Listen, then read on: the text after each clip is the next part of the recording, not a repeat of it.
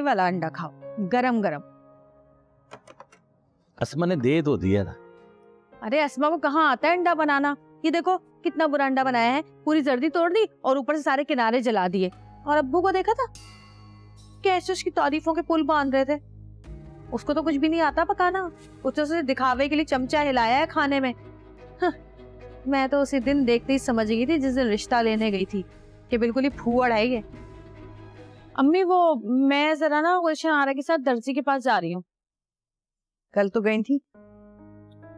हाँ वो असल में उसे खानदान में शादी है ना तो वो चाह रही थी कि सारी चीज़ें ना मेरे मशवरे से खरीदे और मेरे स्टाइल के कपड़े बनाए। इसलिए दो चार दिन तक जाना पड़ेगा मुझे।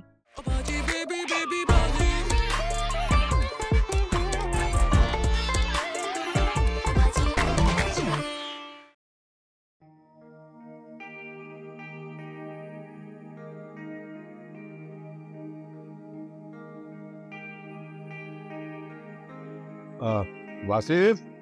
जी अबो। इधर आओ बेटा? आ गया अबो। जी अबो बैठो। बेटा ये तुम्हारे महीने के पैसे हैं।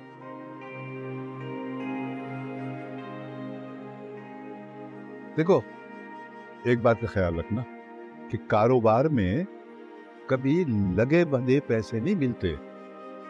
किसी महीने ज़्यादा, किसी महीने कम, ये तुम्हारा और तुम्हारी बीवी का काम है कि तुम इसे लगे बंदे अंदाज से किफायतशारी और समझदारी से खर्च करो। वैसे तो ये तुम्हारा और तुम्हारी बीवी का आपस का मामला है, लेकिन मेरा मशवरा तुम्हें यही होगा कि तुम इन पैसों में से कुछ पैसे अपनी बीवी को दे देना, ताकि वो जो खर्च करना चाहे वो खर्च कर ले।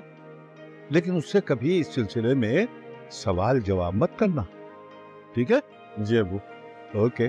जाओ शाबाश। Thank you Abu. Okay okay बेटा।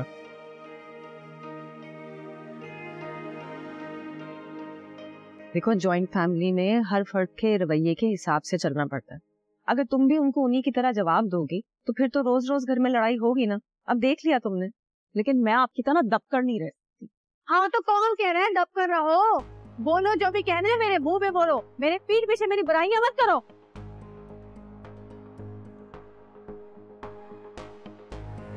मैं आपके पीठ पीछे कोई बुराइयाँ नहीं करती हूँ, मुझे कोई ज़रूरत नहीं है आपसे बात करने की। आप मुझसे हर वक्त लड़ने का बहाना क्यों ढूंढती रहती हैं? मैं जो भी कहती हूँ ना, सामने कहती हूँ, मुँह पे कहती हूँ। तुम्हारी तरह पीठ पीछे बदखुइयाँ नहीं करती मैं।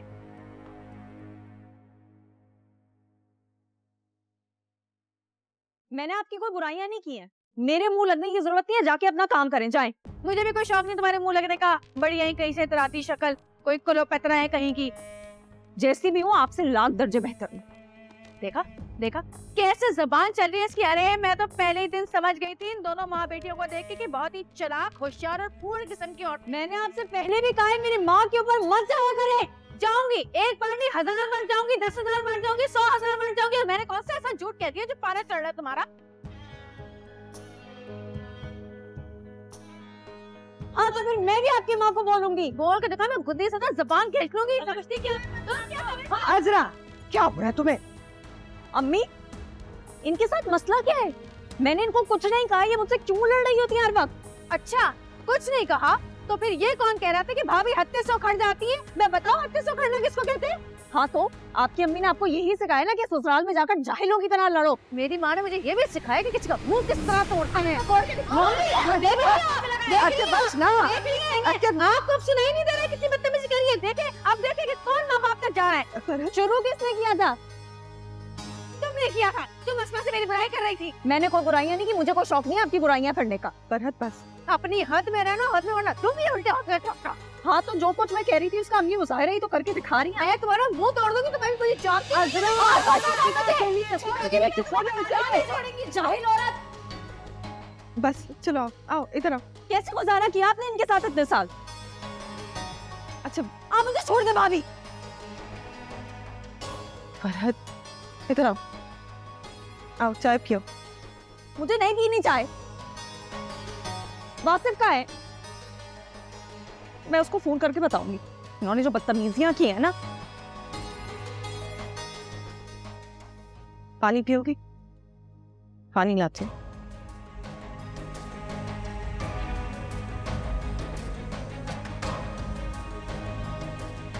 हाँ अच्छा भाई ये वाला देखें आप अच्छा लगेगा। ये ना दूसरा डिज़ाइन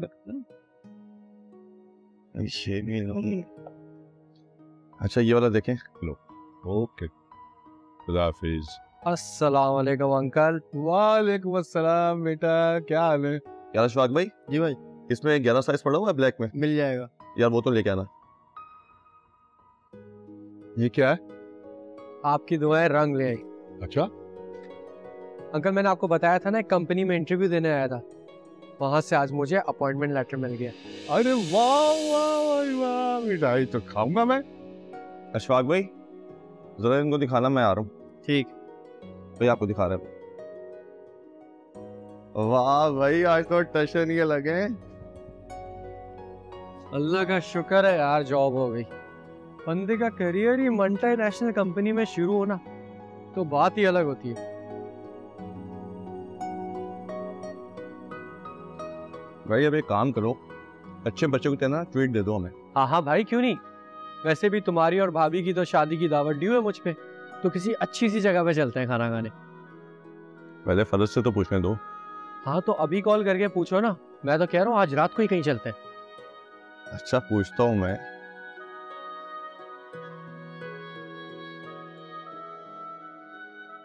किसी अच्छे से रेस्टोरेंट चलते हैं आज और डिनर मेरी तरफ़ से। पूछ तो लेने दे।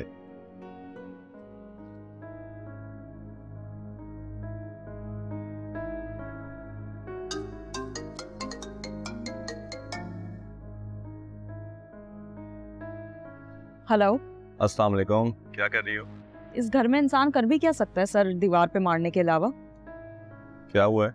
वासिफ मैं तुम्हें बता रही हूँ। अपने घर वालों से कहो अजरा भाभी को अपनी जबान में समझा दे। मैं बहुत बर्दाश्त कर चुकी हूँ अब। हुआ क्या है? वही ना अजरा भाभी मुझसे लड़े जा रही हैं बगैर किसी वजह के। अच्छा तुम रिलैक्स हो जाओ। मैं घर आके बात करता हूँ। अल्लाह हाफिज।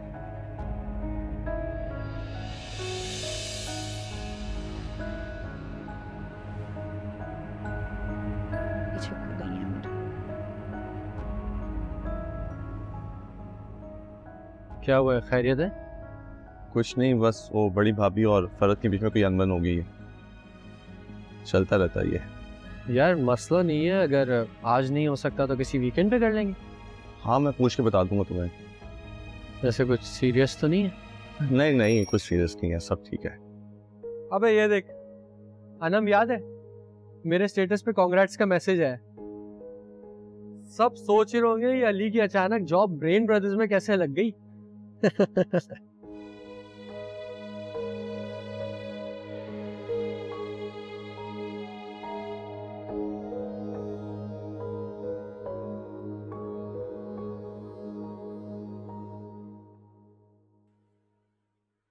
वैसे इतना अच्छा भी नहीं जितना तुम बता रही थी। क्यों? इतने तो मज़े का? जब अगली दफ़ा आएँगे ना, भाभी और वासु भाई को साथ लेके आएँगे। वासी भाई नहीं आएँगे। क्यों नहीं आएँगे वो? शादी के बाद बहुत चेंज हो गए हर वक्त उलझते रहते हैं। हाँ लेकिन इनकी शादी हुई भी तो कितनी टेंशन वाले माहौल में। ठीक है लेकिन लेकिन क्या? मुझे पता नहीं क्यों ऐसा लगता है कि फरहत भाभी भी अजरा भाभी की तरह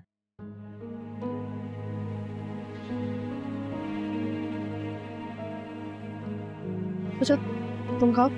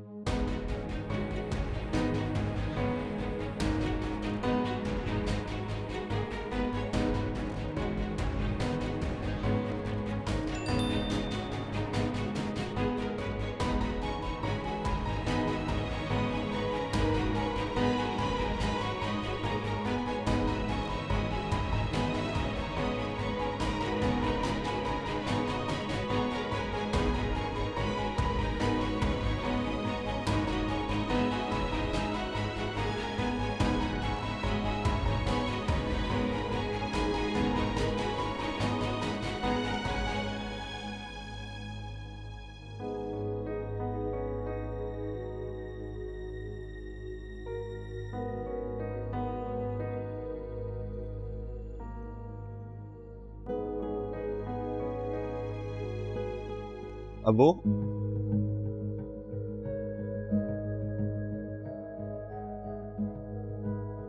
अब वो जमाल भाई नसीर भाई कब तक आएँगे? वो बस आने वाले ही होंगे। देख कितना अच्छा हो गया कि तेरे दुकान पे बैठने से उन दोनों को कम से कम कारखाने में बैठने का वक्त मिल गया। अब वो आज मैं जल्दी घर चला जाऊँ। हाँ चले जाओ। ज़रूर जाओ। मगर देखो आज तुम्हें पैसे मिले ना? तो तुम कुछ लेके जाना घर बीवी के लिए। बस कोई छोटी मोटी चीज़, क्योंकि चीज़ से कोई फ़र्क नहीं पड़ता। असल में तो बीवी को ये एहसास होना चाहिए कि उसका मियाँ उसका ख्याल रखता है। ठीक है? बिल्कुल अबू, ले जाऊँगा। जाओ। Thank you Abu. अशफाक भाई। भाभी नेक्स्ट टाइम आप भी हमारे साथ चलेगा और बर्गर खा के बताएगा कि आपको कैसा लगा। इसको तो अच्छा लगना नहीं है। इसकी जेब से पैसे जो जा रहे हैं। भाभी इसको बस महँगी जगह पे बैठ के खाने का शौक है। चाहे टेस्ट अच्छा हो या ना हो मैं आपको सच बता रहा हूँ इससे अच्छा गली का कोने का बर्गर है। चुप हो जाओ तुम दोनों। वैसे घर में कम मसले ये तुम लोग के बर्गर का मसला भी शुरू हो गया। क्या हुआ? है फरहत और अजरा भाभी की लड़ाई हो गई है। फिर आप बीच में फंस गई होंगी। नहीं भाई इस बार तो मैं खामोशी से खड़ी सिर्फ़ सुनती रही। और लड़ाई किस बात पे हुई? हजरा भाभी को भी कोई बात चाहिए होती है लड़ने के लिए। मैं तो वासिफ का सोच रही हूँ। जमाल भाई को तो आदत हो चुकी है। ऐसा ना हो कि वासिफ वापस आए तो वासिफ और फरहत की आपस में बहस शुरू हो जाए। मैं तुमसे कह रहा था ना वासिफ भाई ऐसे ही ऑफ़ नहीं रहते।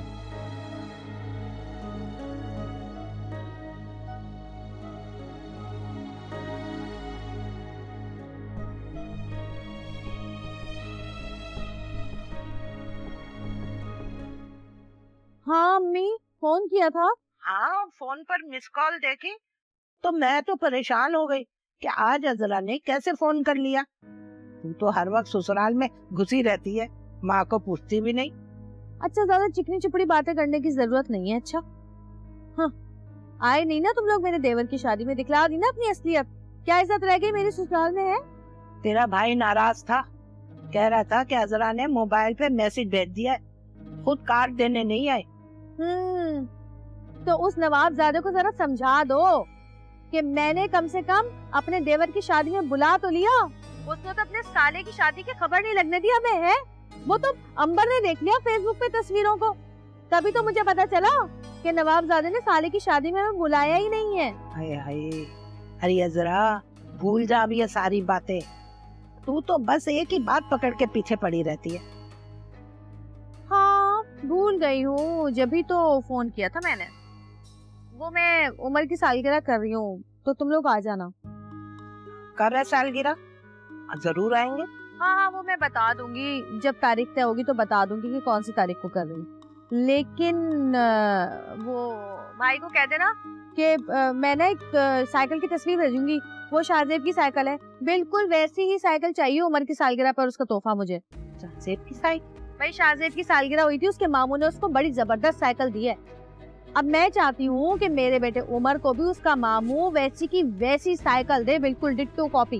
वैसे है कब सालगिरह? सालगिरह का दिन मैं बाद में कंफर्म कर दूँगी। पहले तुम तो मुझे कंफर्म करो कि वो मेरे बेटे को साइकिल देने को तैयार है कि नहीं। अगर साइकिल देगा तो सालगिरह में बुलाऊँगी वरना तुम लोगों को मैं सालगिरह में नहीं बुलाऊँगी। ऐसा ना हो कि आओ पाँच सौ रुपए का लिफाफा हाथ पे थमाओ और बोटियाँ खा के चले जाओ तुम लोग। ठीक है?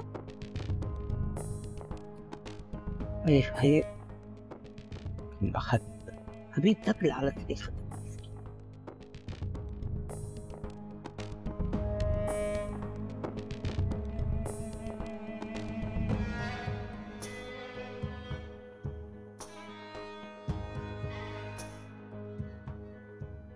कितनी खुश थी मैं अम्मी अबू से बात करके। लेकिन अजरा भाभी ने तो मेरी सारी खुशी गारत कर दी। तुम्हें पता है अम्मी मुझसे पूछ भी रही थी कि तुम्हारे ससुराल वाले तुम्हारा ख्याल रख रहे हैं नहीं रख रहे मैंने उनको कुछ नहीं बताया वरना वो परेशान हो जाती। क्या बताती मैं उनको कि अजरा भाभी तो मेरे सामने से खाना तक उठा के ले जाती हैं? तो इन्हें अच्छा किया आंटी को कुछ नहीं बताया। यार अपना मुँह तो अच्छा कर लो मैंने कोई जान के तो अपना मूड खराब नहीं किया ना वासिफ। वो इतनी जाहिलों की तरह लड़ी होती है किसी का भी मूड खराब हो जाए। और अजीब सी बात यह है कि तुम्हारे घर में उन्हें कोई कुछ कहता भी नहीं है। असमा भाभी भी खड़ी थी अम्मी भी खड़ी थी लेकिन मजाल है जो किसी ने एक लफ्ज भी कहा वो किसी की सुनती का है अजरा भाभी? तो मैंने पहले भी समझाया था कि जब वो कुछ बोला करे उन्हें इग्नोर किया करो। ये बहुत अच्छा है। हर बात पे उन्हें इग्नोर कर दो। तुम लोगों ने यही कर करके उनकी आदतें खराब की हैं।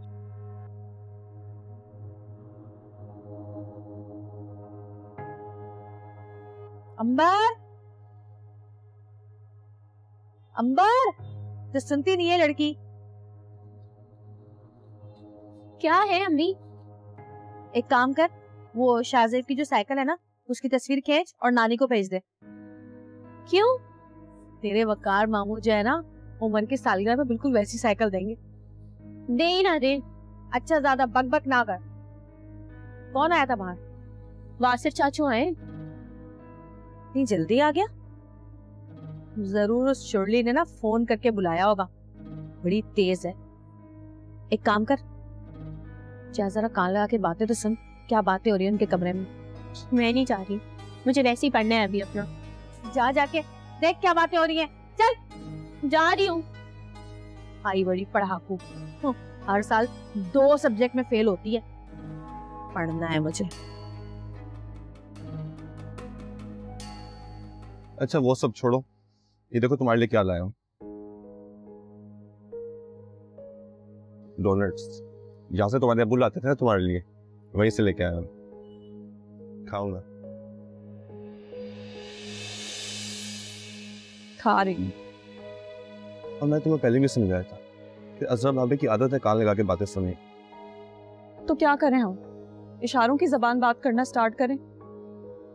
या मैं काम करती हूँ तो मैं मैसेज पे बता देती हूँ कि मुझे क्या कहना है तुमसे। हर वक्त इसी डर में बैठा रहे बंदा कि वो सुन ना ले बातें, बल्कि मुझे तो लगता है अभी भी खड़ी भी सुन भी दिखाऊँगी मैं।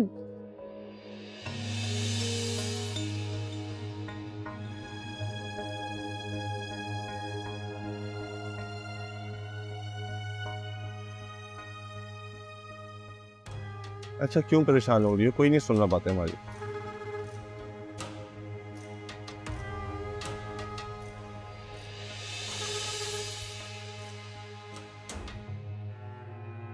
ये देखो तुम्हारे लिए क्या लाया हूँ। ये तो मेरे लिए लाया हूँ। बहुत अच्छा है थैंक यू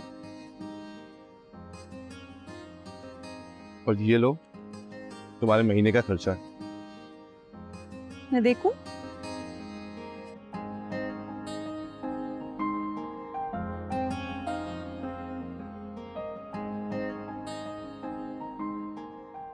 तो सिर्फ़ आठ हज़ार रुपए। तुम्हें महीने का कितना खर्चा मिलता है? शादी से पहले ये कोई दस पंद्रह हज़ार रुपए मिलते थे। लेकिन अब अबू ने बढ़ा दिए हैं। अब पैंतीस हज़ार रुपए दिए बस इतने पैसे? हमारे लिए तो काफ़ी है ना। और वैसे भी हमने कौन सा बिल पे करने होते हैं? या राशन डलवाना होता है? और नसीर भाई और जमाल भाई को भी इतने ही पैसे मिलते हैं? नहीं उन्हें ज़्यादा मिलते हैं। उनके बच्चे हैं उन्होंने स्कूल की फ़ीस देनी होती है घर के बिल पे करने होते हैं। फिर भी तुम्हें मालूम तो होना चाहिए। मैं तो कहती हूँ हर चीज़ का हिसाब किताब रखा करो। हर चीज़ का हिसाब तो अबू रखते हैं। वैसे भी वो नाइंसाफी थोड़ी ना करेंगे। और मेरी शादी का सारा खर्चा मेरे भाइयों ने मेरे अबू ने उठाया। मैं हिसाब किताब लेते हुए अच्छा थोड़ी ना लगूँगा।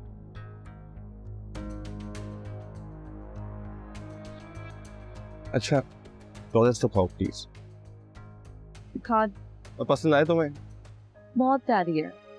थैंक यू अब मुँह सही हो। खाओ।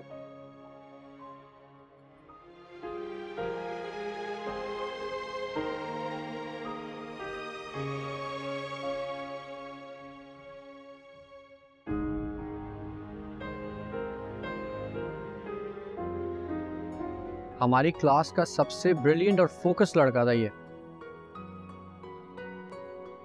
इनकी सीवी फॉरवर्ड क्यों नहीं करते हैं?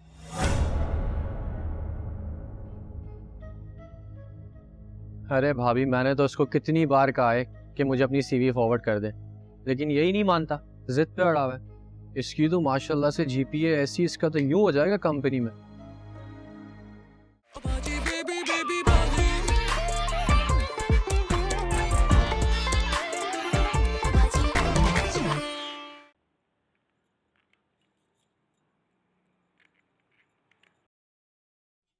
हाँ क्या हुआ?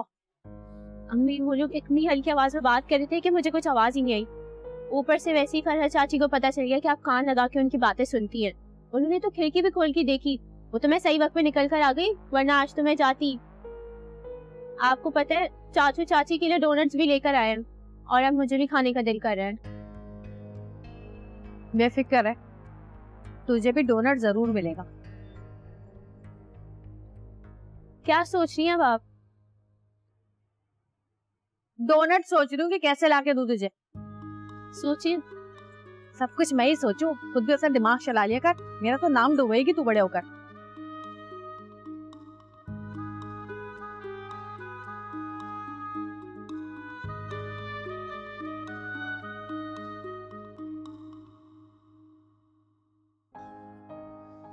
अम्मी आपसे एक इजाज़त देनी थी। वो मेरा दोस्त है ना यूनिवर्सिटी का अली। हाँ। उसने मेरी और फरद की दावत रखी है। तो कल हम दोनों चले जाए? हाँ हाँ ज़रूर जाओ क्यों नहीं?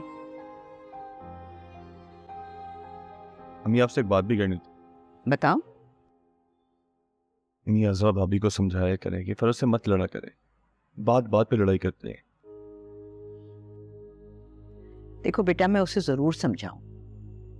लेकिन फरहत अगर मुझे मौका दे तो वो भी तो ऐसे उसे जवाब देती है।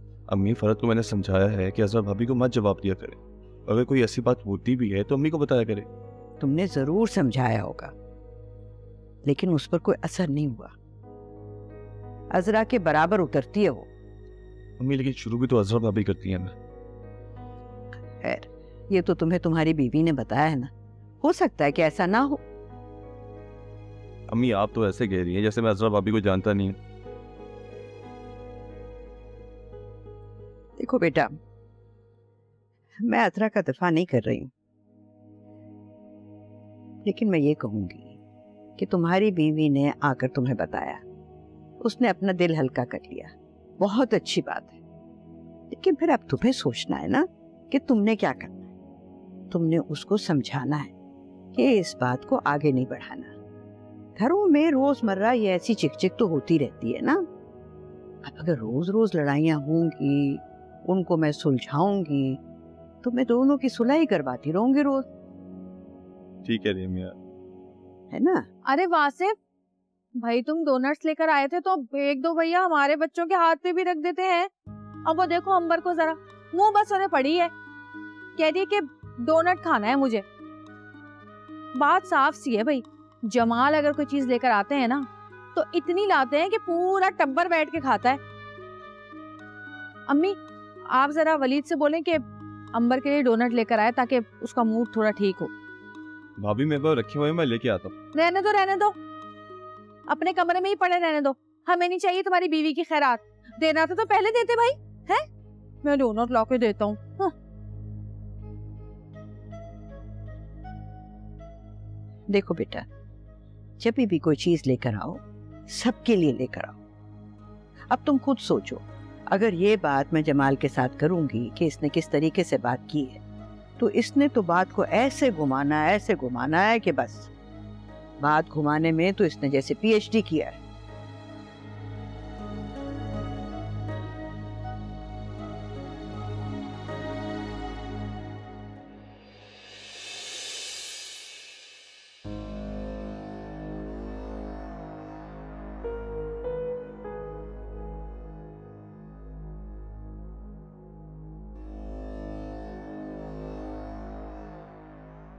पीर साहब। आपने जो तावीज दिया था ना उससे तो कुछ भी नहीं हुआ। मेरी सास तो वैसी हट्टी कट्टी बैठी हुई है। खांसी तक नहीं आई उसको। बहुत सख्त हसार बांधा है उसने अपने गिर्द। हसार को तोड़ने में वक्त लगेगा। बिल्कुल ठीक कह रहे हैं आप। उसने सिर्फ़ अपने गिर्द ही नहीं बल्कि अपने सारे बेटों के गिर्द भी सार बांधा हुआ है। चारों बेटे ना उसकी मुट्ठी में है। हाँ।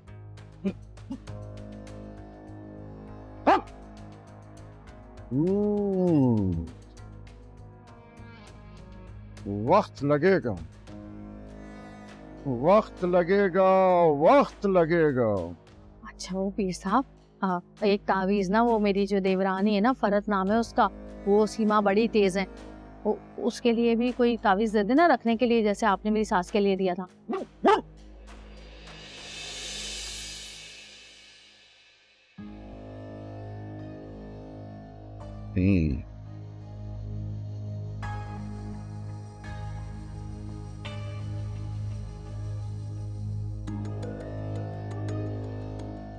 काली रात, काली सुबह।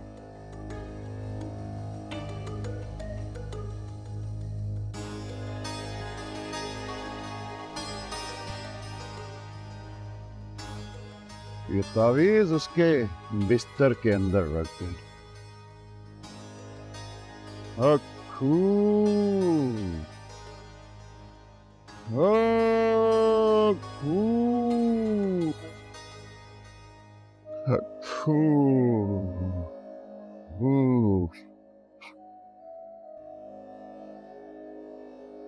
इन कोयलों की दहकान में अपनी सास की उत्तरन जला दे।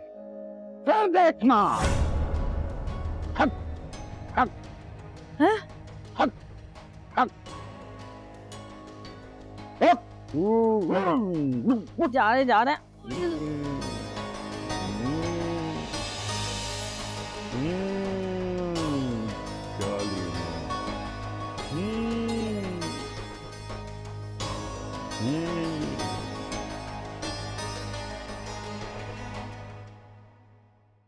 अरे अम्मी ये अस्मा कहाँ है? ना कमरे में है ना किचन में। कहीं गई हुई है क्या? वो फरत को तैयार कर रही है। वासिफ के दोस्त अली ने वासिफ को और फरत को खाने पर बुलाया है। भाई इससे खाने वाने घूमने फिरने कब खत्म होंगे? अब आपने खीर की रस्म करवा दी है ना इसकी? तो काम पे लगाया इसको? घूमती रहती है हर वक्त। हाँ हाँ कल कहूँगी उससे। हाँ।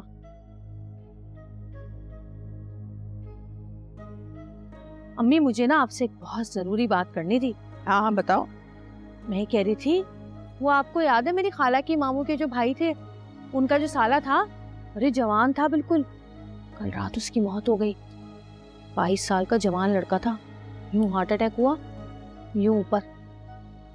तो कहने का मकसद ये था कि आजकल ना जवान जवान मौतें हो रही हैं। तो मेरा मकसद कहने का ये था कि आजकल ना ऐसी मौतें हो रही है, जैसे चट मंगनी पट भी होता था ना, वैसे चट हार्ट अटैक, पट मौत। चट बीमारी, पट मौत। कुछ नहीं पता किसी का, कौन कब चला जाए, कब आपकी आँखें बंद हो जाएँ, हमें क्या पता?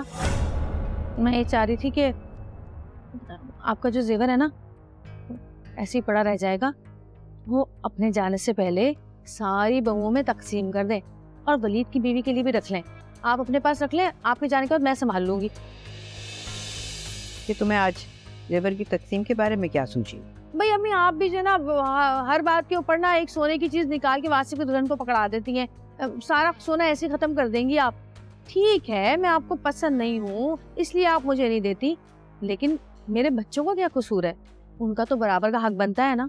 अब कल को अंबर की उम्र की शादी होगी तो उम्र की दुल्हन को मैं दूँगी ना, अंबर को दूँगी ना, यही दूँगी ना जो आप मुझे देंगी। मेरा सारा सोना उन्हीं का तो है, और किसका है? तुम्हें पहले भी बताया था और समझाया था।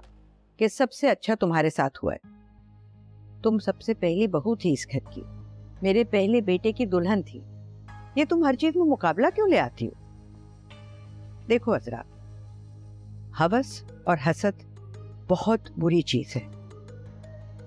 हदीस में भी है कि हसद इंसान को ऐसे खा जाती है जैसे सूखी लकड़ी को आग खाती है। ये लो, थोड़ा सा ब्लश और लगा भाभी बस जल्दी से तैयार कर दें। वासिफ आता ही होगा। हाँ हाँ बस हो गई ना। बताएँ कैसी लग रही हूँ? बहुत प्यारी लग रही हूँ। ऐसे ही तैयार रहा करो। अच्छा अम्मी को भी दिखाओ। आ जाओ। आ जाओ। वैसे बड़ी अजीब सी बात है अम्मी। मेरी दफ़ा में आपको सब कुछ याद आ जाता है पूरा बेशती जेवर याद आता है और अपनी दफ़ा में आप सब कुछ भूल जाती हैं।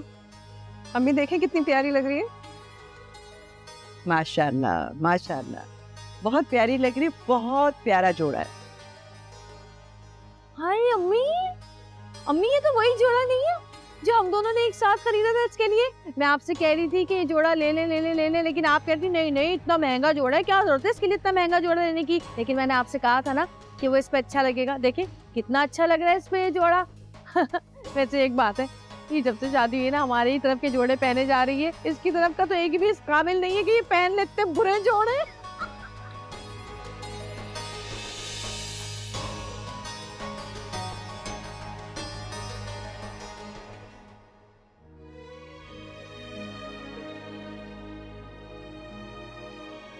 चलो रास्ते में किसी फकीर को दे देना।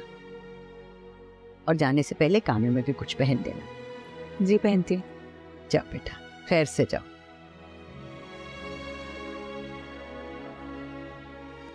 आ जाओ भाई किचन में बहुत काम है। कब से ढूंढ रही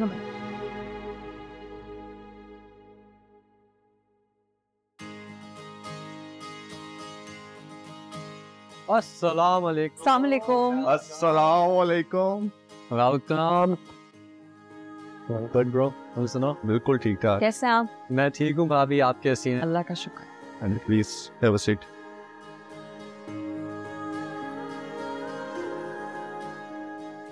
यार इतनी बड़ी जगह पे बुलाने की क्या ज़रूरत थी? तुम कहीं पे भी बुला लेते हम लोग आ जाते। यार तुम्हें तो मैं कहीं पे भी बुला के खिला देता। ये सारा प्रोटोकॉल तो भाभी के लिए। अच्छा से मुबारकबाद दो। माशाल्लाह से इसकी मल्टीनेशनल कंपनी में जॉब हो गई है। अरे माशाल्लाह कॉन्ग्रेचुलेशंस थैंक यू भाभी। मेरा ख्याल है बाकी की बातें तो करते रहेंगे पहले कुछ ऑर्डर कर लेते हैं। वेटर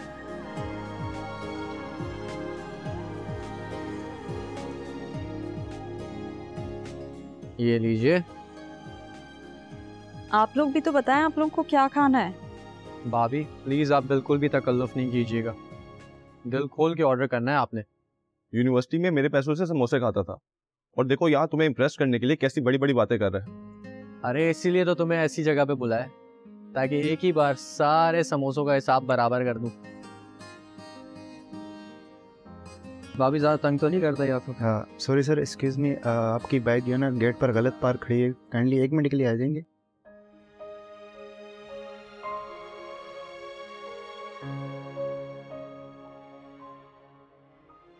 मैं जरा बाइक साइड पे करके आया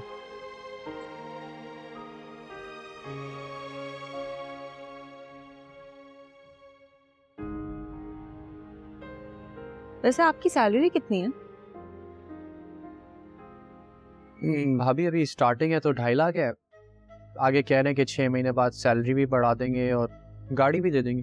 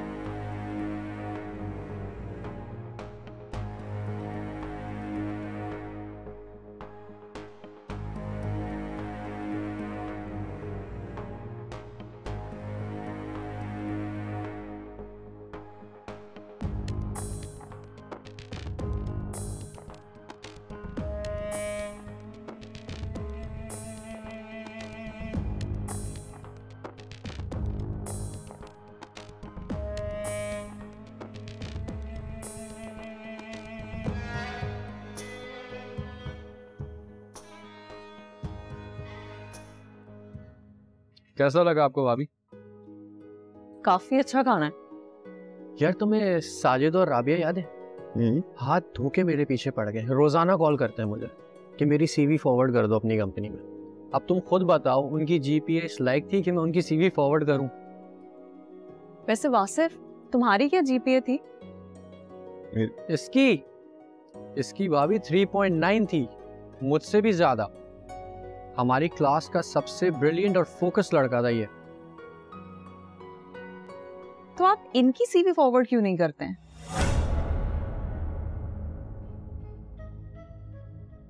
अरे भाभी मैंने तो उसको कितनी बार कहा है कि मुझे अपनी सीवी फॉरवर्ड कर दे। लेकिन यही नहीं मानता जिद पे अड़ा हुआ है। इसकी तो माशाल्लाह से जीपीए ऐसी इसका तो यूँ हो जाएगा कंपनी में। नहीं मैं अपने फैमिली बिज़नेस में सही अच्छा काम है खुद का।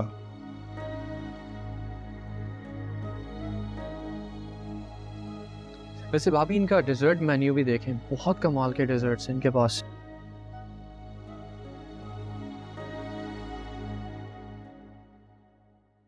मैं ये कह रही थी उमर के लिए साइकिल ले आए आप। अब शाहजेब को उसके मामू ने साइकिल भेजी है तो उमर के पास भी तो होनी चाहिए ना। ठीक है जमाल से कह दूँगा। अरे नहीं भाई जमाल से तो मैं खुद भी कह सकती हूँ। उमर के लिए साइकिल आप लेकर आएँगे। ये किस तरह बंद होगा ना जरा कम कमाल के, कमाल। यानी अब मुझे ये साबित करना पड़ेगा अपनी बहू के सामने कि मैं पोती पोतियों से मोहब्बत करती मुझे ये करना पड़ेगा। चलो, ठीक है। ला दूँगा मैं।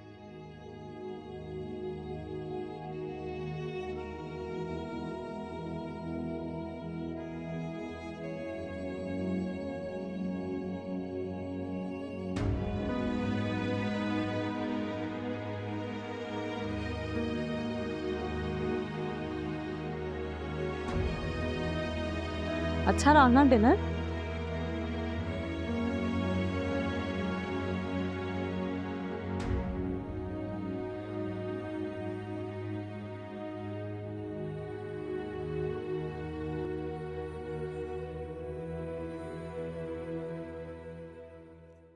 फरत तुम्हें क्या ज़रूरत थी अली से कहने की कि मेरी टीवी फॉरवर्ड कर दे?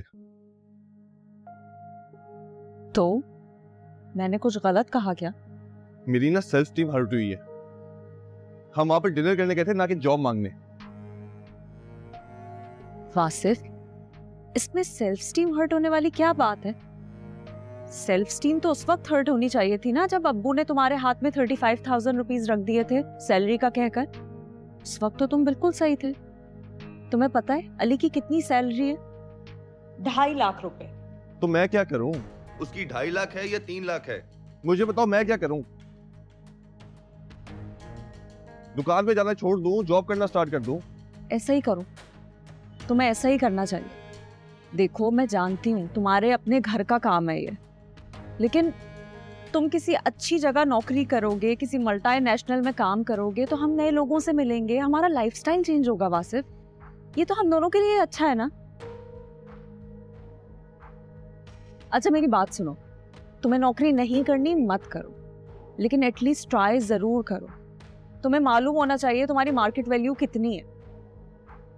और मैं तो समझती हूँ, घर वालों को भी पता होना चाहिए कि तुम्हारी क्या वैल्यू है।